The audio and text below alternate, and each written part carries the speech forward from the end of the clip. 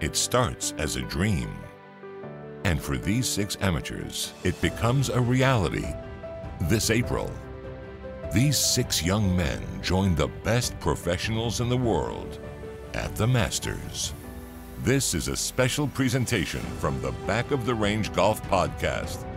This is the road to Augusta. And now, your host, Ben Adelberg. And thanks again for joining me here at the back of the range for this special presentation, The Road to Augusta. Let's start this series off with the final amateur invitee, the 2020 Latin America Amateur Champion, Abel Gallegos. As most of you know, I traveled down to Mexico to attend the Latin America Amateur Championship at the Mayakoba Resort. The tournament was spectacular. How the Masters, the USGA, and the R&A came together to create such a special event you know, they really do take care of the players. That seemed to be the common theme throughout the tournament. And while there is a winner every year that gets those special invites to the Masters and the Open Championship, you can't ignore the fact that the game is being grown in Latin America countries, and this tournament provides incentive and support for that growth. One of the main reasons that I attended the tournament at Mayakoba was for this episode right here I wanted to have every amateur in this series, but I didn't have a relationship with anyone at the Latin America Amateur Championship. I figured I'd meet the winner in the media center, introduce myself, get their contact information, and maybe a week or two later, we could chat on the phone and record this episode. The only thing that could potentially cause an issue would be if there was a language barrier. I don't speak Spanish, so what if the champion didn't speak English? Well, that ended up being the case. But thankfully and randomly, I met Paco Aleman in the media center. I told him why I came all this way, explained the podcast, explained the idea for the series, and how I wasn't exactly sure how I was going to get an interview with Abel Gallegos. Well, right then and there, Paco said, I'm affiliated with the Argentina Golf Federation and I know Abel's family pretty well, so I can help you out. And just like that, we're in business. So, the first part of this episode is my conversation with Paco, who I learned very quickly is an incredible player in his own right and a fantastic ambassador for the game of golf. Abel joins us halfway through the episode with Paco helping out with the translation. So it's a little different than previous episodes here at the back of the range, but I think you'll enjoy it. So let's welcome in Paco Aleman, the 1989 Argentina Amateur Champion, to the back of the range. Paco, thanks so much for joining me. How are you? How are you, Ben? Thank you for having me. Absolutely. Well, I, I appreciate you you doing the assist here on this episode. You know, the primary guest the primary guest of this episode is going to be Abel Gallegos, the uh, 2020 Latin America Amateur Champion. I was able to to follow him down at uh, Mayakoba just a few weeks ago, and was lucky enough to meet you there. And you're assisting because um, you know Abel uh, doesn't speak English, and well, um, that's the only language I have mastered so far, uh, barely mastered, but. Um, but we're going to speak to him in just a little bit. But, you know, I wanted to make sure I introduce you to the listeners of this podcast that are going to be following the uh, Masters in a in a few short weeks. It's not that you're just contributing a little bit of um, you know translation here, but also you're very well connected with uh, golf and amateur golf in Argentina. So, tell me a little bit about what you do, not just with ESPN to cover amateur golf, but what you do for uh, for Argent for golf in Argentina let you know, Ben. First, I would love to be the main guest here, but I am not. uh, well, I'm uh, 59 years old, grew up uh, playing golf since I was a kid, 11, 12 old year kid. It was very strange for an 11, 12 old year kid to play golf in Argentina in the early 70s. Uh, but the game hooked me, and uh, here I am after almost 50 years playing this crazy game. Uh, uh, I became part of the Argentine team for 18 years, from the early 80s to the late 90s. Uh, won the amateur, the, the Argentine Amateur Championship uh, in 1989. Uh, runner up three other times, and uh, playing a couple of Eisenhower trophies, a lot of South American Amateur Team Championships, and playing golf around the world as an amateur all my life.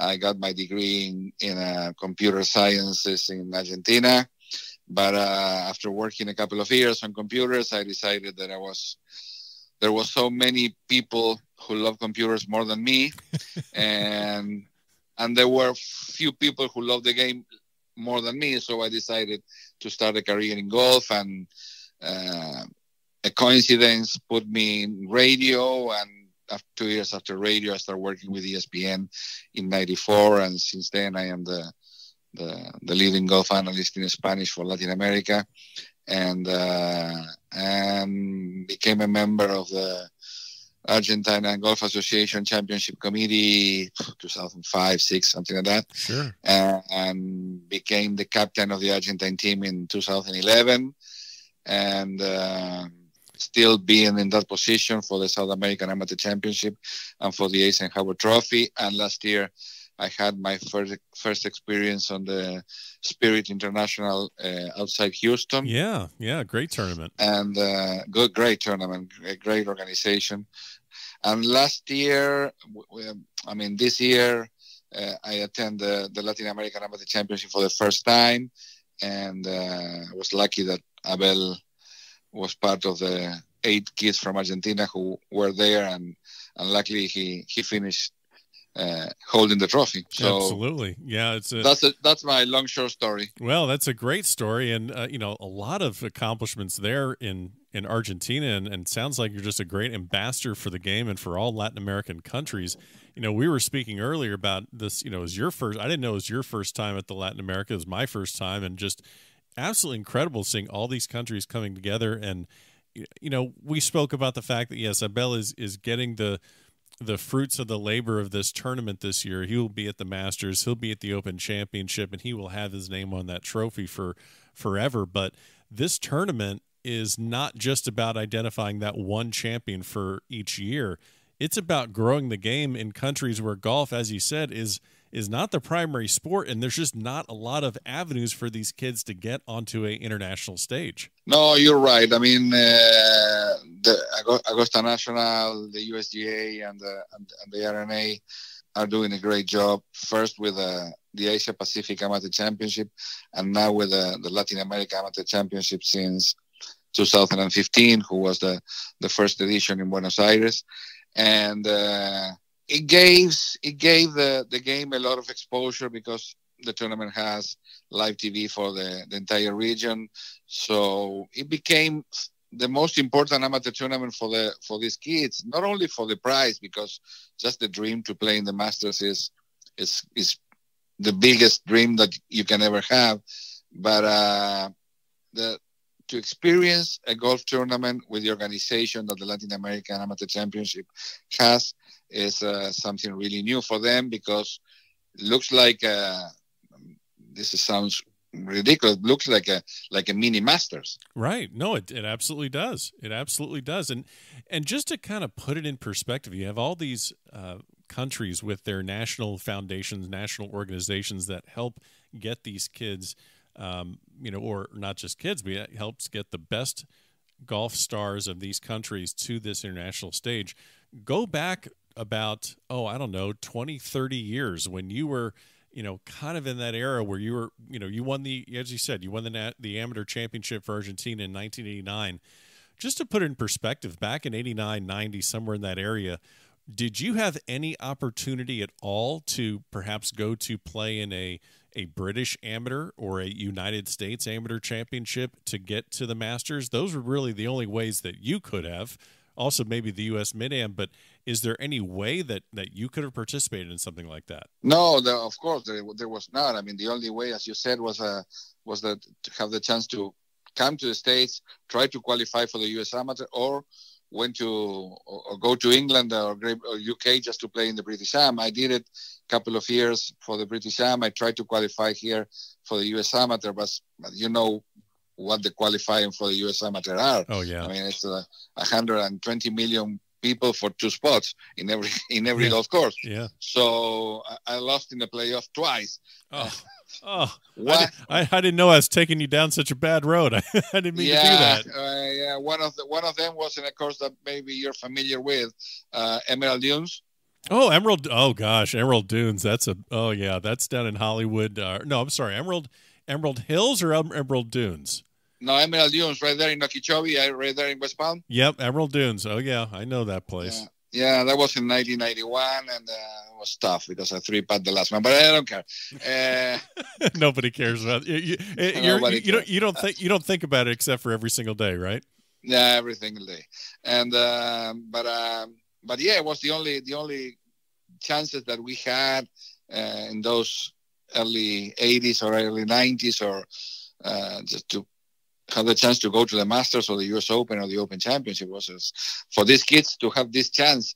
And when I start listening that uh, the first thing that I heard about this championship was at the Masters in 2013 was the first meeting just to put everything together to start with this tournament. And I thought to myself, wow, if I had the, that opportunity, if yeah. would have the chance to play, I mean, it would be great. I mean, it's a, it's something really big. Yeah.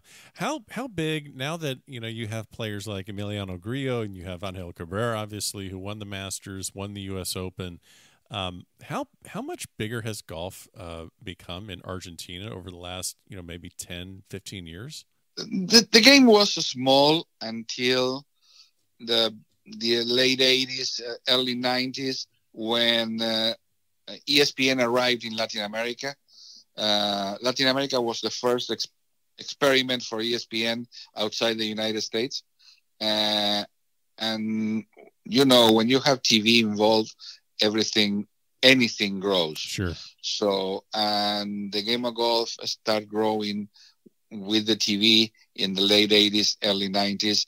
And uh, now we have many more golf courses, more golfers, and uh, the exposure is uh, is really big right now, especially in the big tournaments, especially in the majors, and especially when when uh, when when when Angel won the at Oakmont, and of course when he won and when he won the Masters, so the front page of every newspaper, for, uh, headline news on every uh, news channel in Argentina. I mean, it was big, but uh, for us, for our region to have we need a, a super superstar just to keep the media interested in the in the in the game. Right. And it happened. And best example was Lorena in uh, in Mexico. When Lorena started playing, media didn't know much about golf. Lorena had to teach them about what is golf, how to cover it, and when he became the number one player in the world, when she became the, the number one player in the world, everything exploded because in our countries, if you are number two, mm, no, you don't. You, are not matter. good. Doesn't matter. You yeah. are not good enough.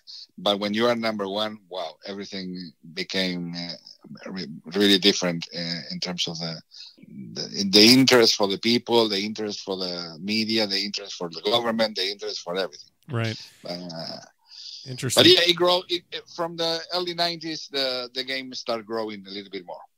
Interesting. Now you've you've covered the Masters previously. Can you take me back to when you were there for the first time to cover the event?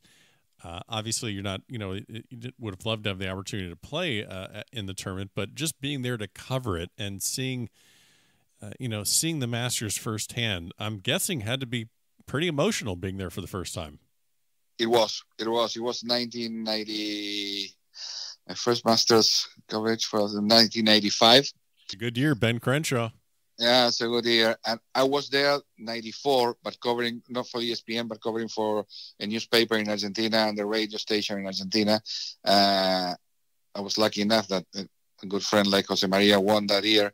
Uh, but 95 was the first year for the Master. But the first year that I went in was 94 uh, I was totally in shock when I saw the, the place for the first time. Uh, I always tell my friends in Argentina, uh, the Augusta National is so beautiful, and when you watch it on TV and when you watch it on site, it's so different because TV doesn't show you the the change of elevations. TV doesn't show you the the the the tallest of the the, the trees and right. the, the the the echo of the ball when you hit the second shot on number 10 i mean there are so many things that the tv cannot show you and uh, you have to go and every people that every guy of every friend that goes there find me and say, "Listen, you were right. This is so different," and it's uh, it's a shock to the system, you know.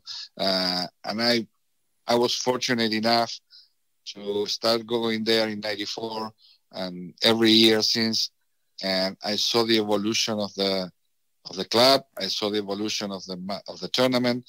I saw the, the evolution of the the facilities that uh, Augusta National has right now that are totally different that that was what they had uh, 25 years ago. Before we have Abel join us, let me ask you a little bit about him. You know, 17 year old kid from Argentina. You know, I'm gonna we're gonna talk about the town he came from. He has the invite to the Masters. He has the invite to the Open Championship at Royal St. George's. From what you know about him and his game, you know, obviously weather conditions could play a huge part in both tournaments, but if you just looked at them side by side, calm weather at each one, which one do you think his game is more suited for? Uh, oof, that's a good question. He went, I think it was two years ago. Yeah, he was 15. I think it was 2018.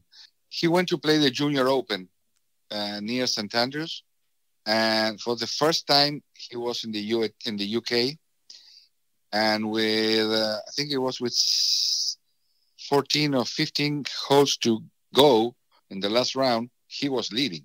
He made a mess at the end, and he didn't win. He didn't win, but uh, for the first time, it was a surprise for everybody that he was doing so well. And uh, but also, he is a powerful kid, so he has the game to play well at Augusta National. I don't know if to play well or not. Sure. Because there are so many circumstances surrounded your your first shot on the first day on Thursday, nerves, people, I mean, pressure, everything.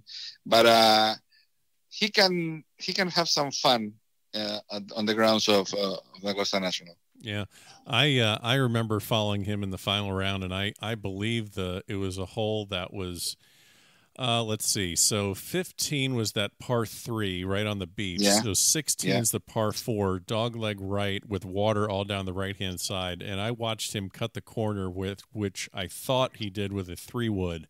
And, yeah. and it was a hybrid after I looked closer. And I mean, he took it right over that corner as he was leading that tournament. And there just did not seem to be a whole lot of fear in him. Do you remember a time when you kind of clicked in your mind that, okay, this kid has it? This kid might be a factor in this tournament because I mean it's the first time playing in this Latin America Championship, and I'm guessing it's the biggest tournament he ever played in. Yes, he went, he was here at my home uh, in September last year. That was the first time I met him because he came to Ponte Vedra uh, to yeah, play the junior, junior the junior the junior players, and he stayed at home. And I had the opportunity that week to to know him and to know the family uh, his family, and uh, I followed him during the rounds of the players, and uh, he, I saw his potential. I never imagined at that time that he's going, he was going to win the, the Latin American Amateur Championship. Then I had it on my team on the South American Amateur Championship in November uh, last year for the first time, also, and he played really well there. But again, was the first Latin America for him this past January. But the way he played the last round, hitting 17 greens in regulation, missing only two shots, the driver number one and the driver number uh, 14, he really impressed me. The way he played, the way he he he walks, the way he hold the putts when he needed, uh, he really impressed me. Yeah, yeah, I think it was uh, 67 in the final round, uh, only player to finish under par in the entire tournament. So, uh, very impressive. Well, Paco, thank you so much for uh, for sharing your story and how you are an ambassador for the game. Let's go ahead and bring Abel Gallegos in. Abel is the 2020 Latin America Amateur Champion. Abel, welcome to the back of the range. Congrats on this incredible achievement. Can you share with us what you're doing right now to prepare for the Masters? Bueno, muchas gracias. Y, ahora estoy en el torneo de Sage Valley en el Junior Invitational. La semana pasada practiqué en Augusta y fue increíble. Well, Ben, he says uh, thank you for the the congrats, and uh, he was uh, he is right now at the at the Junior Sage Valley Invitational, and uh, tournament starts on Thursday, but he was uh, on the grounds of uh, Augusta National last week for the first time. That he says it was unbelievable. Well, I can imagine. I mean, that is golf heaven right there, and it pales. It well, it that's golf heaven. But try and compare that to where you started and where you learned the game at uh, at Las Mulitas in your small hometown in Argentina. Bueno, sí, es, es, un, es un paraíso en realidad, pero, pero bueno, comparar con las mulitas no puedo porque prefiero las mulitas, te digo que prefiero las mulitas porque es el club, el club de mi vida. yeah, he says, Ben, that um, it's, um, it's heaven on earth for sure for the golfers, but uh, that he cannot compare because uh, it's so different, but he, pre- he prefers Las Mulitas because Las Mulitas is his home club from since he was a kid and he's he had a lot of he has a lot of of joy when he plays there. So, how many family members would you say, or how many people are going to be uh, traveling to Augusta National to watch you at the Masters hit that first shot on on Thursday? Eh, la semana del Master de 25 van 10, con familia y todo. Ah, okay. So there are 10 people, including uh, his parents and his brother and his, and his sisters, and his sister, and five other people from from La Mulitas, uh, friends of them. That's great.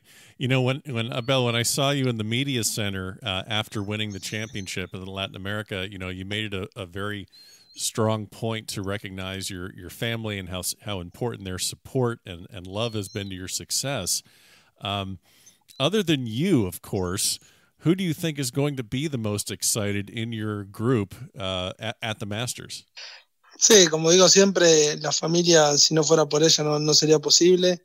Y creo que toda mi familia va a estar emocionada cuando me vea ahí.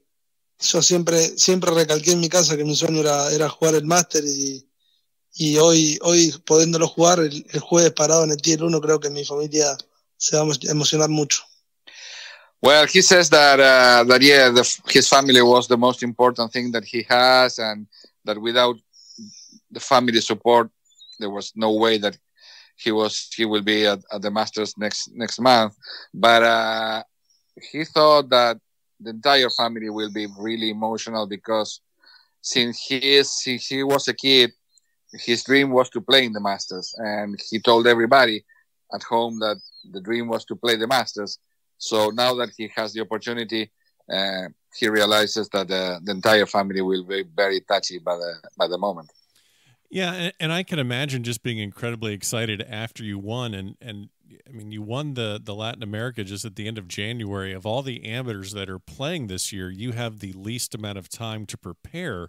How do you, uh, you know, come down from that great achievement and excitement, and then also get prepared? Um, you know, how do you how do you emotionally get prepared for such a, a dream of yours?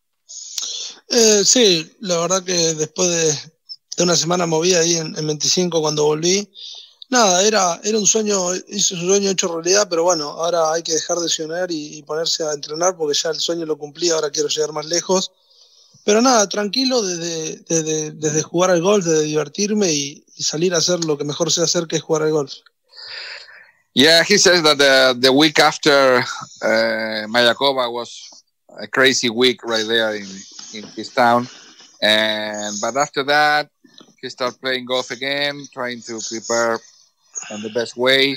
Now the dream is uh, right there, four weeks away, and he will take, he will try to do do his best to be ready to to the first tee on Thursday. Uh, you've only seen. I know you played uh, last week uh, several rounds on the on the course, and I know there's got to be a lot of things that are kind of jumping out at you as things to kind of pay attention to so hard to learn a course like that in such a short amount of time. But is there one thing that you're really concentrating on to help you succeed uh, at the Masters? Sí, lo primero, lo primero que, que, decidimos fue formar una buena estrategia para cada bandera, porque la verdad que los greens son extremadamente difíciles. Y bueno, y después eh, ponerme bien fino con alrededor de green, que eso es lo que me está costando, pero bueno, vamos a llegar bien preparados para esa semana. He went uh, Ben. He went with uh, Hernan Rey, which is the one of the head coaches and uh, of the Argentine Golf Association. He lives in the states. He has a, an academy in the states, and all the kids that are in college uh, go there just to to practice with him. And Hernan was with him last week, and they have the pin placements for every round uh, from 2019. So the main thing, the main purpose for the practice was to have a, a, a plan to play for every pin and uh, the best way to attack every pin.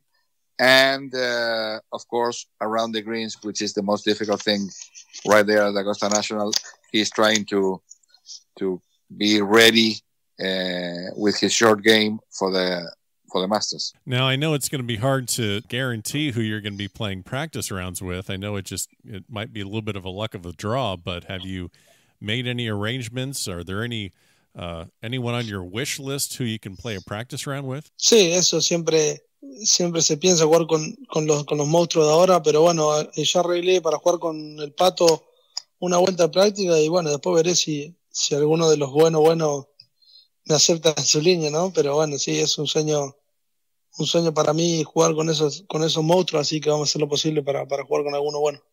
At the moment, he has he already made arrangements to play with Cabrera uh, a practice round, and uh, of course, if one of the superstars has uh, has has an open space in his line, he will be ready to tee off with them. Well, uh, Abel, I have Tiger's phone number. Would you like it?